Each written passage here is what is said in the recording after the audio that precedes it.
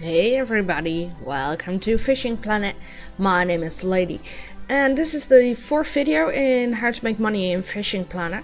And this one is something that not a whole lot of players do, um, but it's actually a, a good way to get some money back this time. So when, when you start playing Fishing Planet, obviously after some point you want to purchase new gear. So you get some new gear. For instance, we started with the Fisher XS, which had a single fish weight of 1 kilogram and a max fish weight of 2. And then later on at level 4 we purchased the Fisher M, which gave us a max, uh, max single fish weight of 3 kilogram and a total of 7 kilogram.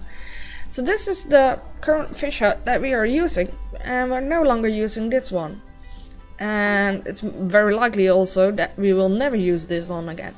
So what you can do is click on that button, the S, and here it says, are you sure you want to sell for 20 bucks? Yes. So that will give you some 20 bucks. Now note that some stuff has uh, a bin behind it, icon. Uh, you will just throw it away. So you will not get any money if you press that button. But here for instance lines, they'll reward you with money as well.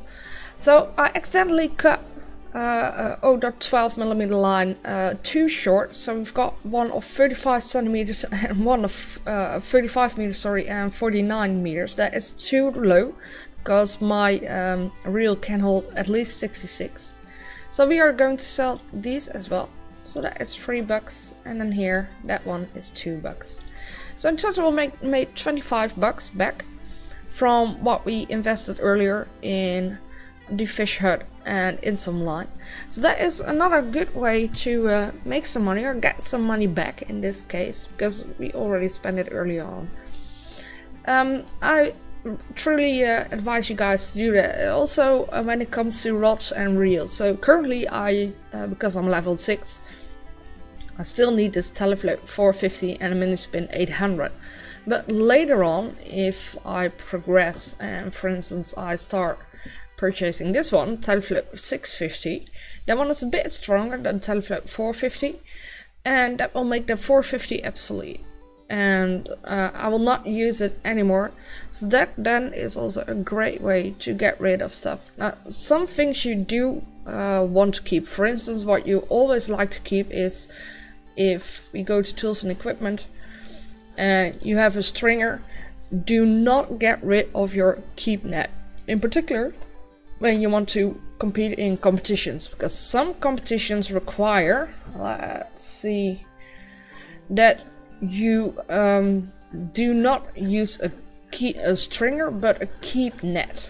Let me see we do not have that one as a requirement. Uh, here we have use only spinning setups with bad jigs and a keep net so make sure that you're not selling your only keep net or you're not selling your only stringer because at times you do need it. But having that said, getting some money back by selling some of your stuff is another good way to make some money in Fishing Planet. So if you like this video, give it a thumbs up, leave comments down below, and I'll see you in the next video again. Bye bye!